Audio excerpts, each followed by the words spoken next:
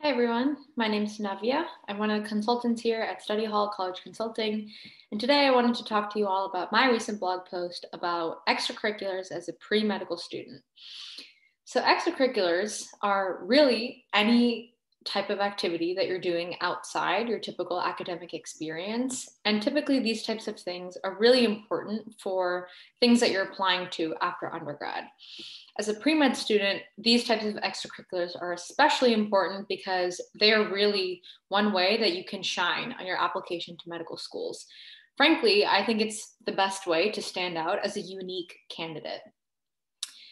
So, of course, grades, your MCAT scores, your test scores, all of these things are very important. But what's really more important, in my opinion, is to have a diverse set of extracurricular activities that proves that you're a holistic candidate. So, for me, coming into undergrad, I knew that there were a few things that I definitely had to get involved in, but I knew that there were other things that I just wanted to get involved in as a personal choice um, and both categories, you know, things that I knew I had to do versus things that I wanted to do for myself. Both of those kind of categories are things that I have been able to include in my current applications to schools. So, first and foremost, I wanted to go through the things that you definitely need. So, firstly, community service and volunteering. This is pretty typical. Um, I don't think it would come as a surprise to anybody. Um, giving back to your community is really ingrained into the pass into the practice of medicine altogether. So it's really important that you show that on your applications. You show that you had got involved in some type of activities while you were an undergrad student. So for some students, this means you know volunteering at a soup kitchen volunteering um, you know at a food pantry or maybe you tutor kids or maybe you work at the local hospital or maybe you know you volunteer in a science museum really it just means whatever it wants to be for yourself you know everyone has their own interests but at the base level you know as long as you're giving back to the community you're giving back to underserved communities or you're giving back to someone or something in one way shape or form that's really important and in general I mean, for anything really, it's definitely quality over quantity.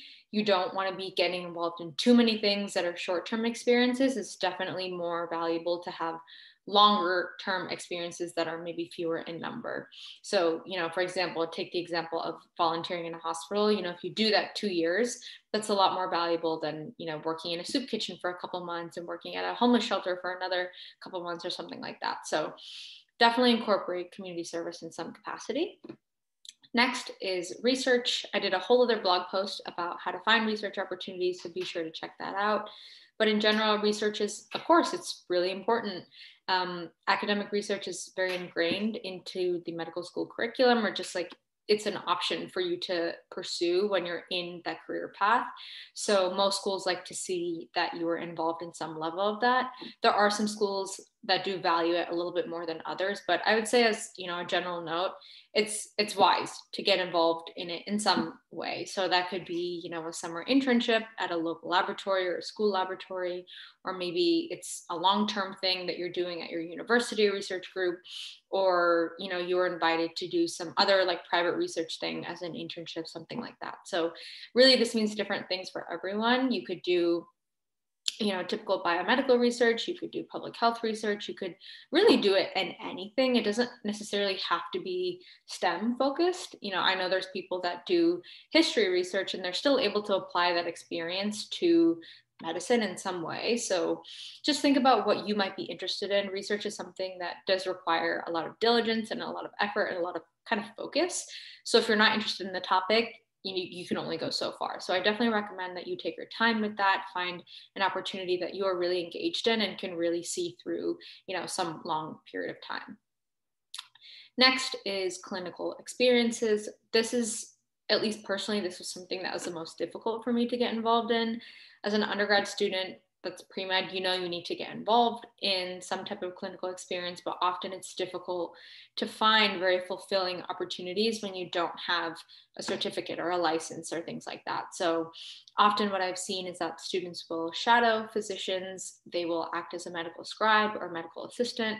There's a ton of different free clinics, um, and Berkeley has something called a suitcase clinic. So student run clinics that kind of go around the underserved communities within the university or like the surrounding area. That's a really common way that people get clinical experience.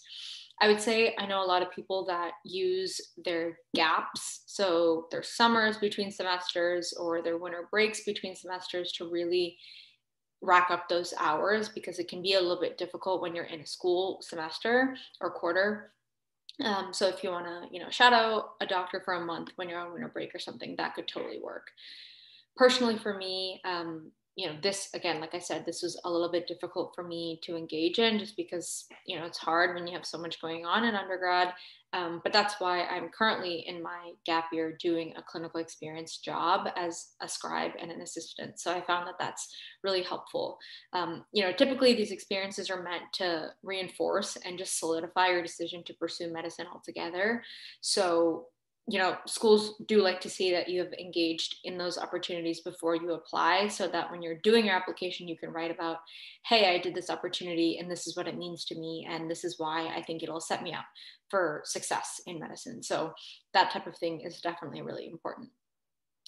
And then next, just two other kind of broad categories that aren't necessarily requirements, um, but they're things that I personally noticed are common threads. So firstly, um, leadership in any capacity. This doesn't have to be like in a science or a medicine capacity. It could be, you know, in whatever club that you're in, um, or you know some other student government type of opportunity or some other type of service opportunity where you're an acting leader in the group that is a really important quality to have you know proving that you can work with the team and you have communication skills and you have interpersonal skills that is really really important and very valuable. And i think schools really appreciate seeing that you can take initiative and kind of um, have control over a group and be able to delegate tasks and you know get things done basically. So leadership is really important um, and another thing that people really like to do is teaching or tutoring. So typically after your first year, your first couple years, you'll have taken some of the more difficult courses in your undergrad career, and they will often have opportunities for these students that have completed the class to go ahead and then tutor students who are taking the class the next semester. So that could be something like you know tutoring or teaching privately for very specific subjects or you could do something where you're involved in the core staff teaching team. Um, you know, many courses themselves will recruit students from their previous semesters to teach students, you know, going into the semester. So those are definitely things that, you know, I think personally a lot of people choose to get involved in. And then finally, any other extracurricular activities. So in addition to all those kind of required recommended type activities, the rest of your activities is completely up to you. And I highly recommend that you take time and you listen to yourself and you figure out what you might be interested in. Maybe you want to play a sport or continue a sport that you did in high school. Maybe you want to play music or study music or, you know, give back to the community through music in some capacity. Um, maybe you want to like i said maybe you want to do student government maybe you want to start your own dance club or something like that. So really that is your biggest chance to shine as an applicant. Um, those are typically the non-traditional things that will really help applicants you know make themselves or prove themselves as people that are bigger than the academic setting. They really prove themselves as holistic candidates by saying, hey, you know, this activity that I did was definitely not required, definitely not something that I did for medical school, but I did it anyway because I enjoyed it and this is what I learned from it.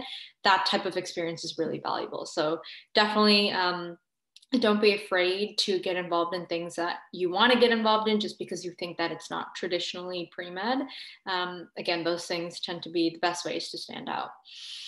For me personally um, just to touch on a few things that i did throughout undergrad um, i did research. I did academic research um, in biomedical spaces as well as in public health research I worked as a health advocate at a local public hospital. I did nonprofit work in a couple different organizations. I tutored organic chemistry. Um, and then some of the non traditional things, I did a lot of music things. And I was also a campus tour guide. So I did a lot. Um, and again, all of these things were things that I was able to include in my application. So altogether, there's so much that you can do. It can feel really overwhelming um, and it can be very easy to compare yourself to other people. I think one thing that I did that I wish I hadn't was that I saw that there were a lot of people gravitating towards a few different activities, but I was thinking about, okay, hey, I want to stand out. I don't want to do all the same activities, but really any activity you can make your own by just you know having your own story having your own narrative through it so if there's something that you want to do definitely go after it it'll definitely prove to be an asset in some way or the other um, and just kind of keep track of the things that you maybe have to do or are you know things that are common threads for applicants but at the same time take time to you know do the things that you actually want to do and and expand your horizons a little bit. So i hope that was helpful.